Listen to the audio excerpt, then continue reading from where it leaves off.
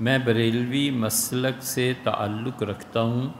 मेरी एक ख्वाहिश है कि देवबंद बरेलवी फ़र्क को ख़त्म करो। भाई, ये हो नहीं सकता।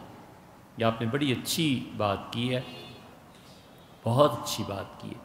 हम खुद भी यही चाहते हैं, लेकिन ये कभी भी नहीं हो सकता। मज़हब के नाम पे जब तफरीक़ात उठती हैं और बीच में पेट आ जाए ना तो फिर ये मसला क़्यामत तक हल नहीं होता। देवबंदी और बरेलवी, इन दोनों को जिन लोगों ने पढ़ा है, हमारे यहाँ बहुत शदीद तसब आ चुका है। बरेलवी हजरात बिल्कुल देवबंद का मौक़ सुनने तक के लिए नहीं है। और इसी तरह इसके बरक्स भी है कि देवबंदी हजरात बरेलवियों के मौक़ को जानने की कोशिश ही नहीं करते। जो लोग इस बात को कर सकते हैं, उन्हें चाहिए, जिन लोगों के दिलों में तड़प है, कि वो अपने फ्री के मुखालिफ को भी पढ़ें। हमें चाहिए मौलाना ख़ान साहब के फतावा पढ़ें, जिन फतावा में उनकी दिक्कत नज़र है, और मौलाना ख़ान साहब ने वो फतवे बहुत दिक्कत नज़र से लिखे हैं। उनकी बाज़ जगह पर ऐसी ऐसी अरबियत की बातें हैं, ऐसे लगता है जैसे यह सातवीं, आठवीं सदी का कोई फ़कीर लिख रहा है। चौंतीस जिल्दें हैं। अल्लाह का शुक्र है हमने उसे पढ़ा। और शायद कहना तो नहीं चाहिए, लेकिन उसके सबूत के लिए लाइब्रेरी आएँ तो आप देखेंगे पहली बारह पंद्रह जिल्दों पे बाकायदा हमने उस पर कुछ ना कुछ लिखा हुआ है, उसकी फहरिस्तें हमने बनाई। हम किसी देवबंदी से क्या, बरेलवी से कई मरतबा कहते हैं कि किसी को अहमद सईद साहब लाहौर में बहुत अच्छे मुफ्ती बरेलवी हजरात के तो एक मसले पे ज़रूरत पेश आ गई थी, मैंने हज़रत को फ़ोन किया कि हज़रत ये है तो उन्होंने कुछ बात इशाद फरमाई, फिर जब मैंने हवाला दिया तो उन्होंने कहा कि तुमने फतावा रिसविया पढ़ा है? मैंने कहा, जी हज़रत, पूरा पढ़ा है और फ़लाँ जगह पे अहमद ख़ान साहब ने ये मसलक, ये चीज़ बयान की है। कहने लगे, मुझे हैरत है उन्हीं के अल्फाज फरमाया, मुझे हैरत है, हमारे बरेलवियों में से किसी ने पूरा फतावा नहीं पढ़ा तो तुम कैसे पढ़ पढ़ लिया? मैंने कहा जाता ऐसी बात नहीं है। कोई दो चार आदमी हमें भी सुनते हैं, हमें मरना है, अल्लाह को जवाब देना। ये फतवा कोई छोटी सी चीज़ नहीं होता।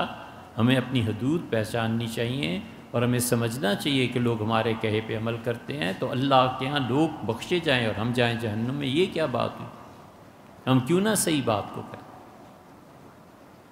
इसीलिए हम हमेशा ये कहते हैं कि हम एक दूसरे को पढ़ें, एक दूसरे के करीब होकर देखें। मसन उर्स है उर्स कितना अहम है, कितना अहम नहीं है। मौलाना खान साहब साफ़ उर्स के कायल हैं, उर्स के लिए बहुत कुछ वो लिखते हैं, लेकिन वो ये भी लिखते हैं कि उस मौके पे जो कब्रों पे सजदा होता है, ये हराम है। ये जायज़ ही नहीं है। अब सिंध में उर्स होता है और लोग उसमें सजदे करते हैं तो हम कैसे कहें कि ये बरेलवी हैं? हम ये कहते हैं कि ये बिदती हैं, अपने पास से इन्होंने एक चीज़ ईजाद की है बरेलवी मस्तक कतन नहीं मानता कि अलिया अल्लाह की कबूर को सजदा किया जाए। वो नहीं मानते इस चीज़ को। बारह रबी पे जो खुराफात होती हैं, इस पे मुफ्ती मुनीबुररहमान साहब ने लिखा है, आप उसको पढ़ लें, मुफ्ती साहब ने शदीद मुखालफत की है और बताया है कि ये सब वाहियात चीज़ें नहीं होनी चाहिए।